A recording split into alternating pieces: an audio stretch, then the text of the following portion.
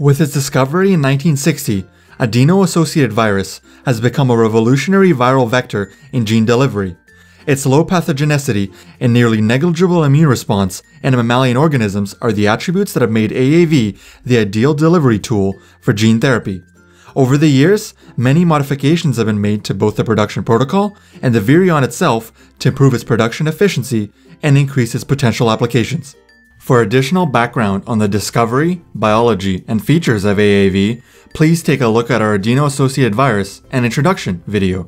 The techniques and methods required to produce recombinant AAV will be outlined in this section, as well as all possible modifications that can be performed on the recombinant AAV.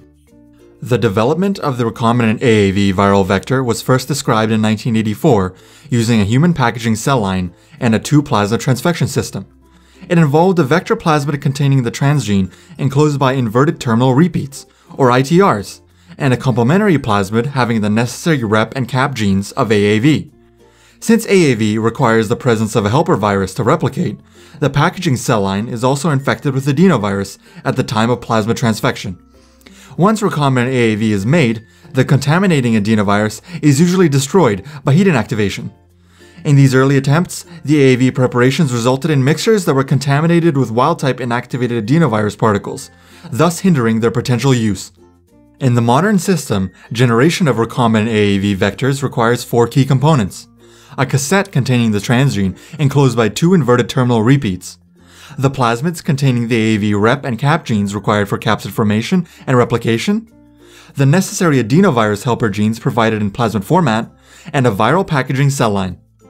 The AAV genome is only 4.7 kilobases in length, and therefore restricts the size of the possible transgene that can be inserted into the recombinant AAV cassette. The size restrictions of the AAV transgene have been demonstrated in experimental settings, and any transgene that exceeds 4.7 kilobases in length fails to effectively transduce or express its transgene in the long term. The transgene in the cassette also needs to be flanked by two ITRs, which are necessary for the packaging of the recombinant AAV into the capsid.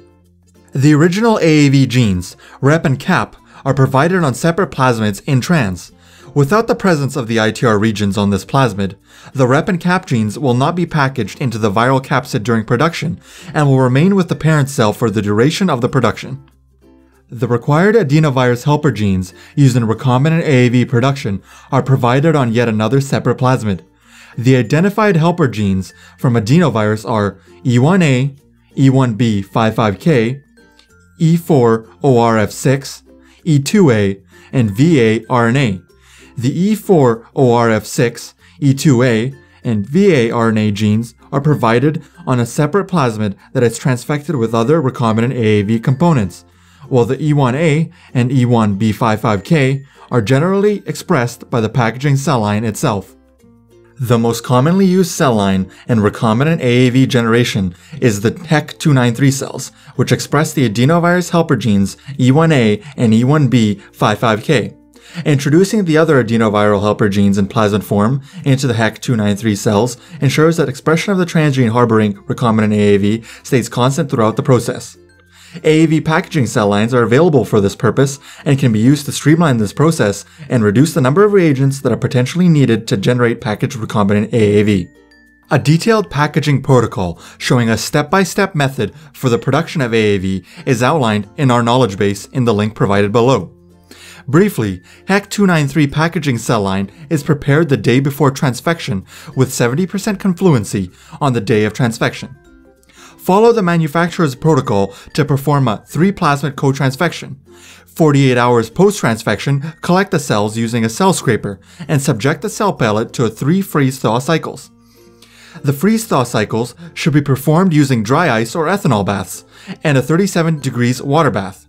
After the freeze-thaw cycles, the recombinant AAV is released into the supernatant and can be used immediately for transduction experiments or be subjected to further purification using iodidaxonol gradient. As was mentioned previously, other changes have been performed by scientists to recombinant AAV vectors to make them more effective, such as capsid modification to change its tropism towards certain tissue types. These modifications include transcapsidation, the process of packaging the ITR of one serotype of AAV into the capsid of another serotype, adsorption of receptor ligands, the addition of foreign peptides to the surface of the recombinant AAV capsid. Mosaic capsid, a modification involving the packaging of the AAV genome or recombinant AAV transgene into an AAV capsid made up of a mixture of unmodified capsid proteins from two separate serotypes.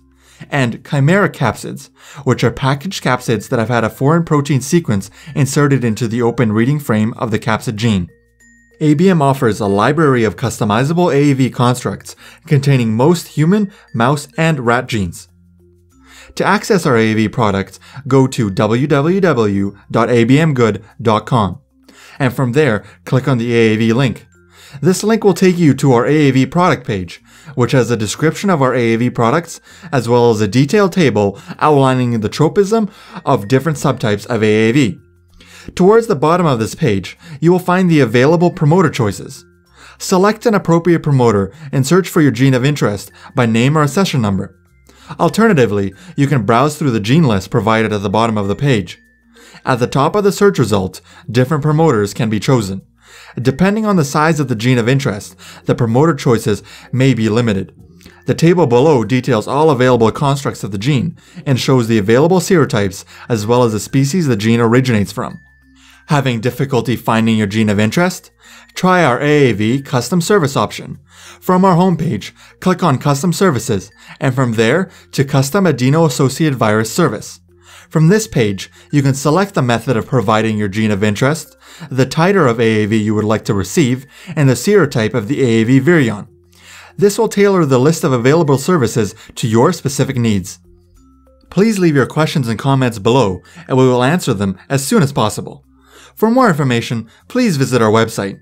Thank you for watching.